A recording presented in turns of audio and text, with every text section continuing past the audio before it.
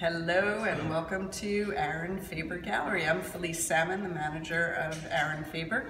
We're here today to talk about the work of Peter Schmid. He's um, the owner of Atelier Zobel based in Konstanz, Germany and one of our favorites. An artist we've represented for a good 30 years now and easy to do. His work is brilliant. And what I personally love about his work is the complexity of it. It actually um, is a very unique technique. It's called fusion. Fusion is a technique where the metals are being married to each other with heat alone.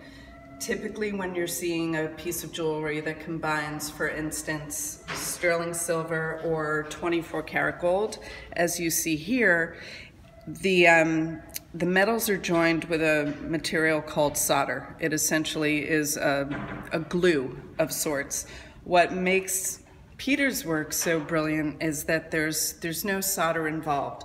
It's strictly the um, controlling of the heat that allows him to combine metals so artistically. And if you can take a look here, if we can zoom on in on pieces like this, you see almost like a, a sprinkling of, of moon dust in 24 karat gold on the sterling silver surface and these very intricate lines of 24 karat gold.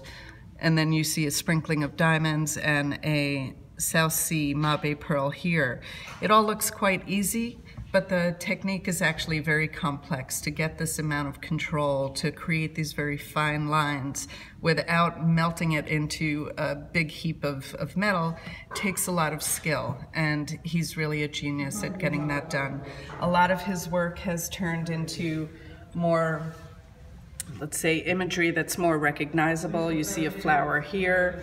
Over here you see what I see is more of a abstracted rose with a mabe pearl in the center again.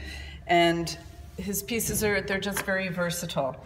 And I think they do a great job at flattering the wearer. We see this piece here. This is a technique that I learned from Peter. You just roll it over the wrist. It seems like it might not go on at first, but it goes on really easily.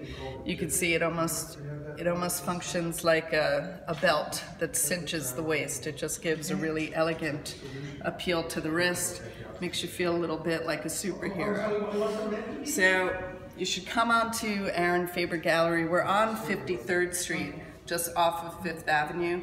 You can't miss us. We're diagonally across the street from the Museum of Modern Art. Come by, take a look at Peter's pieces, try them on, experience the work, experience the gallery, meet all these wonderful people. Say hi, everybody. Hi. Hello. Come and visit. We look forward to seeing you.